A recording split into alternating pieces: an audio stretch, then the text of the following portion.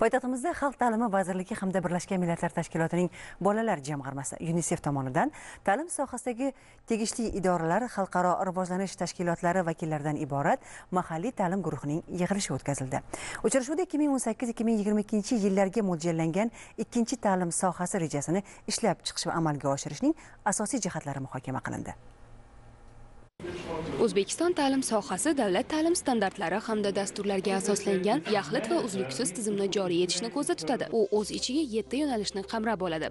Boshlang'ich ta'lim umumiy o'rta o'rta maxsus kasb hunar o'qituvchilarni tayyorlash va qayta tayyorlash oliy ta'lim maxsus yondashuv talab etuvchi bolalar ta'limi shular jumlasidan. O'zbekistonda ta'lim oluvchilarning umumiy soni 8 milliondan ortiqni tashkil etadi. Xalqaro standartlarga ko'ra sohaga yo'naltirilgan investitsiyalar hajmi yalpi ichki mahsulotning qariyb o'ndan bir qismiga teng. Uchrashuv 2018-2022 yillarga mo'ljallangan ikkinchi ta'lim rejasi bo'yicha strategik yo'nalishlar va dasturlarni ishlab chiqish tasdiqlash uchun platforma bo'lib xizmat qildi. Ta'kidlash joiz ushbu reja ta'lim sohasidagi islohotlarning muhim bosqichidir chunki uning diqqat markazida asosiy o'rin bolalar va yoshlarning manfaatlariga beriladi. Muhimi barcha darajalardagi sifatli ta'limdan teng va adolatli foydalanishga yordam beradi.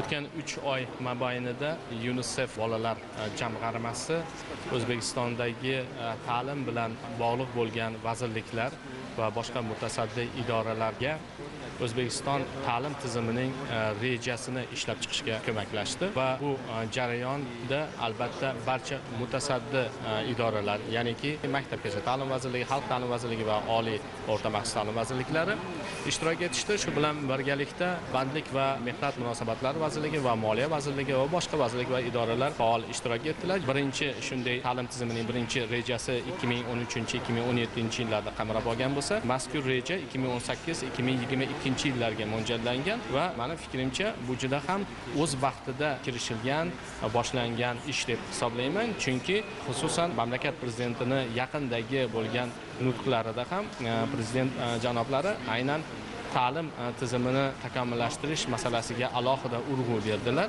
va ta'lim albatta mamlakat rivojlanishiga turtki bo'luvchi asosiy omillardan biri sifatida tilga olindi. Uchrashuv qatnashchilari o'zbekistonni rivojlantirish bo'yicha harakatlar strategiyasiga muvofiq amalga oshirilayotgan islohotlar ta'lim sohasini takomillashtirishga yangi impuls berayotganini ta'kidladilar.